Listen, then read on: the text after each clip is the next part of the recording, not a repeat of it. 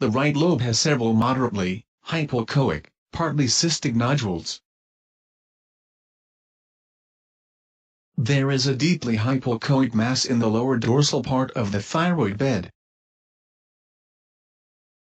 The vascularity of the parathyroid is not typical, it shows both paralesional and intralesional blood flows. The left lobe also has cystic nodules. The simultaneous presence of echogenic lines and granules dorsal to tiny cystic areas means that these are back wall figures caused by posterior enhancement.